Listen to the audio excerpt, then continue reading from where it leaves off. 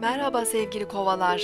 Görev ve sorumluluklarınızla ilgili kavramlar ön plana çıkacaklarsa da bunlara odaklanacak istekliliği içinizde bulamayabilirsiniz. Bugün işler her zamankinden daha ağır ilerleyebilir ve sizi sıkabilir. Şartları fazla zorlamadan sakin kalmaya çalışın.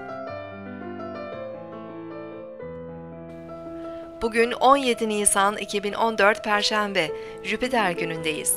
Akrep burcunda ilerleyen ay sabah 9.10'da Satürn'e kavuşacak ve ardından boşluğa girecek. Derin ve içe dönük enerjiler ruhsal olarak karamsar hissetmemizi sağlayabilir. Sorumluluklarımız ve görevlerimiz bugün bize biraz daha ağır gelebilir. Önemli görüşmelerimizi ve işlerimizi sabah erken saatlerde yapmamız daha doğru olabilir. Ay boşluktayken kararsızlıklar oluşur ve sonuç almakta zorlanabiliriz. Gün içerisinde kendimizi rahatlatacak, keyif aldığımız konulara zaman ayırabiliriz ve dinlenebiliriz.